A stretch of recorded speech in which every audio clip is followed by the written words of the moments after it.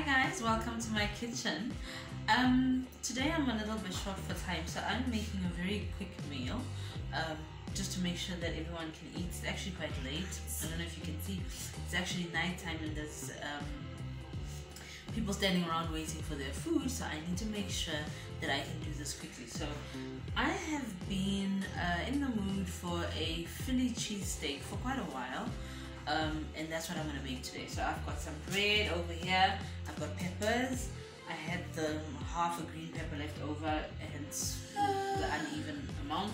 And then the red pepper, I've got some sliced onions, some cheese, I've got beef, and then I'm going to be making a cheese sauce as well. So that's where the cheese comes in. Um, I've got some seasoning salt over here, but that's my favorite brand that I normally use. I'll just um, when I put the description down below, I'll just make sure to put the brand name because this is the one that I think works the best. And then I've got my canola oil that I'm going to be using to fry. So yeah, it's going to be quick. I'm actually against the clock. So I want to be able to knock this whole meal out in 30 minutes. So let's get to it.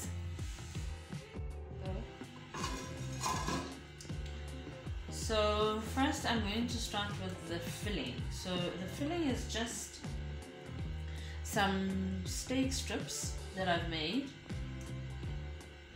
some onion, and then some peppers. And then remember I spoke about my seasoning salt. I'm going to season the steak with the seasoning salt. And then I'm going to make the cheese sauce on the side. So let's start with that first. I've just put my gas heat on, ah, stove on on medium. I've just put it on medium. I just want it to come up to temperature. And then I'm going to start with the onion first. So normally I would say do the veggies first, take them out, and then do the meat. But remember I said we against the clock. So we're just really going to cowboy style this one. So I've got the onions and they are sliced, right? Just gonna put them in. I'm gonna do half a batch and then I'm gonna do another half a batch because I've got two French rolls. But I also don't want to crowd my pan too much. I'm gonna do half a batch so you can see how to do it and then um, I think I'll do the next batch like lightning quick. So as you can hear, we've got some heat going and that automatically means that we're going to get the sizzling that you can hear and then um, we can keep going there. So I'm gonna get started with the cheese sauce as well. So I'm putting my stove on on high this time and I am going to be putting in some butter. I've got quite a bit but don't worry about the quantities of the ingredients. I'll make sure that I put that for you in the description box below. So I'm just going to let the butter go because I want the butter to be melted before I start making the white sauce, which is um, essentially the base for the cheese sauce. And then while you've got your onions going, don't forget about them.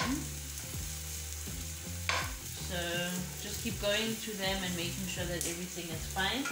And as you can hear, because I've got that medium heat, right, the crackling, I've got the kind of right, the right kind of heat that I'm looking for. So I'm gonna go in with the peppers. And at the same time, my butter started to melt.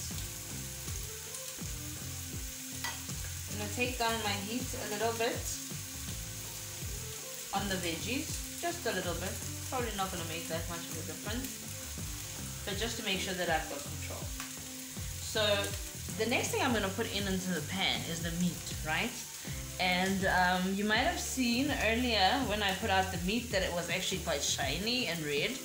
Um, that's because I vel velveted it. Now, um, if you've seen um, my stir fry video, you'll know how to velvet your meat. If not, just go back to the video and watch it. I'll actually um, put a link up to the stir fry video and that way you can learn how to velvet your meat because that makes your meat so much softer. So even when you stir fry it and when you eat it it's absolutely soft so you don't have to stress about you know big chunks of meat.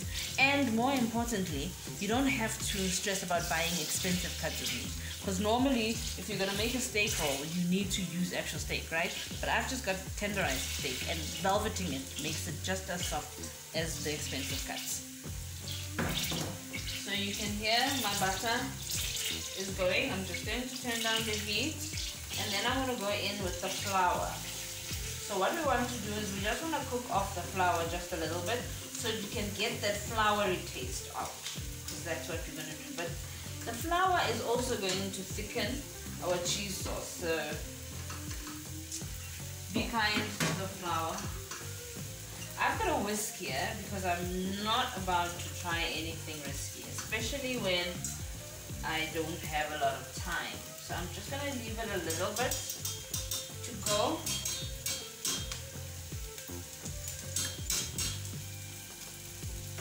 So that we can get rid of that floury taste.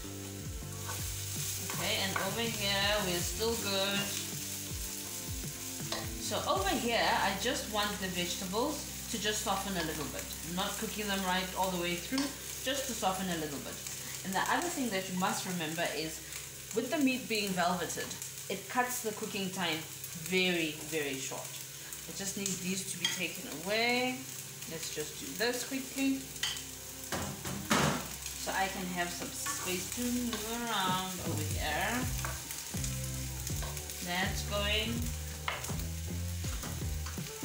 And over here, we are also almost good. You can smell the flour, which means that it's going. Now I'm going to go in with the milk.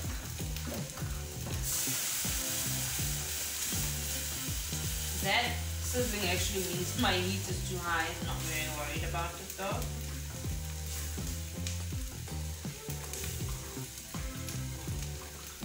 So I'm a bit of a cheat. The reason I use the whisk, or the reason we all use the whisk, is because you don't want the little lumps in your cheese sauce or in your sauce to begin with. But I'm a cheat. I mean, I use my whisk even when I make pap. So do that too. It'll make you look like an absolute pro.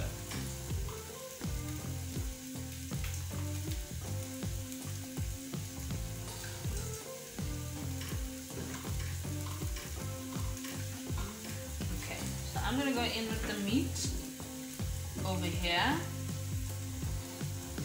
Once you've seen the velveting process that I use on the chicken stir fry uh, video, then you'll realize that there's also a trick to it to making sure that um, your meat doesn't taste like the baking soda, which involves the washing. And um, after you've done that, you need to just ensure that you actually try and paper, paper dry your meat if you can. With the chicken, it's not really a big issue, but with the beef or you know with the tougher meat, what you actually want to do is you can just leave it to just drip dry if you've got it in the colander in the sink or something because that takes a bit longer uh, if you've got time. So if you've thought about it longer before than I did, then you can leave it to drip dry. But I've just used a paper towel to just make sure that mine is is as dry as I need it to be.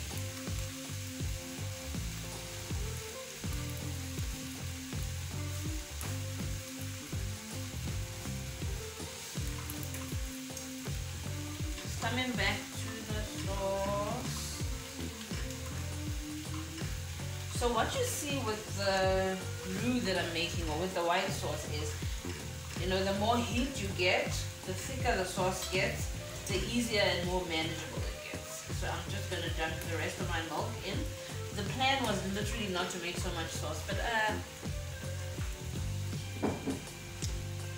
more cheese sauce for everyone, right? So we are almost at the seasoning place for everyone. I've got my seasoning salt that I mentioned earlier. Just gonna season my beef and the veggies. It looks generous. But once you taste this one that I'm using, you will really be sold on it. And then I'm also going to be seasoning my white. Just a little bit, not a lot, because remember we are making cheese sauce. So we're going to be using cheddar, cheese is a bit salty, so that's also going to give a little bit of flavor. I'm going to put a little bit of black pepper in the cheese sauce as well. So normally what I would do is I would put uh, red pepper flakes, but then it become a chili cheese steak. But um, so I've got my kids eating. I've actually got my toddler eating today, so I'm not going to be putting chili flakes in there. So I'm just going to put in some uh, pepper to ensure to ensure that at least we've got some kind of flavor, right? But the flavoring is not going to be a problem at all. The seasoning salt that I'm using is actually perfect for that, so I'm not worried.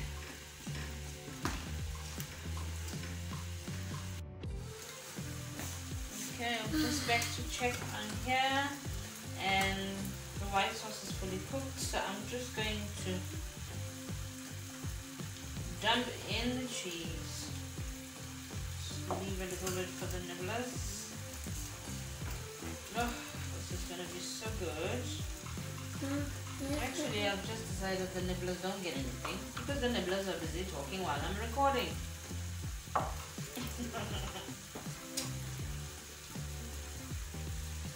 Okay, there we go.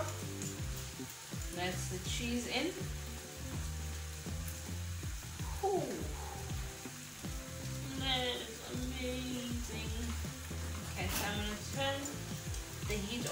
Down here because I've got the cheese in as you can see.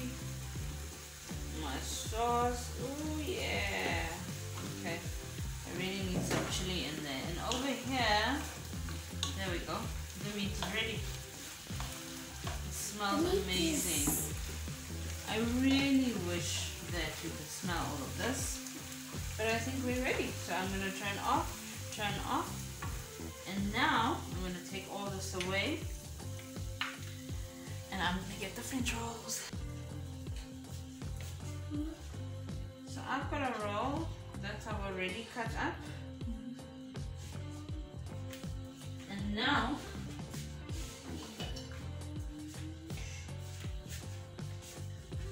let's do this take this away and now the filling goes into the roll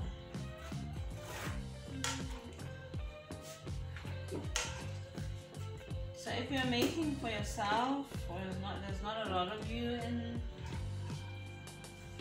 in the house at the time you can obviously use smaller rolls but I actually insist on using the French roll because that way all I need to do is make just two of these babies and then everyone in the house can have a little or a lot or whatever you think this is. Whoa, this looks good. We eat in and then now I'm going in for the cheese sauce. Now I'm to put this away. I need to find somewhere to put this. And that's not creative talk for anything. I just need help. Then I'm just to put on the cheese sauce. Don't worry, I'm to put a lot of cheese sauce because literally this is what the steak roll is about. So it's about the steak, yeah, we get that, but we are all just here for the cheese sauce. So there you go. That's chili cheese steak. Why do I keep saying chili? I suppose I wish there was chili. That's a cheese steak. Enough to feed two hungry people which is probably what's going to happen right now. So here guys, this is my version of the Philly cheese steak that I have made in a very big French roll. And I'm sure you'll agree that was very quick to put together. Uh, the pièce de resistance, of course, is the cheese sauce that you can see dripping there at the bottom. But the big idea is to ensure that you are able to put food together very quickly and still have them tasting mighty fine, if I can say so myself. And this is the end of the video. Please remember to like, to comment, and to subscribe so you and I can keep getting together. Thank you very much and bye!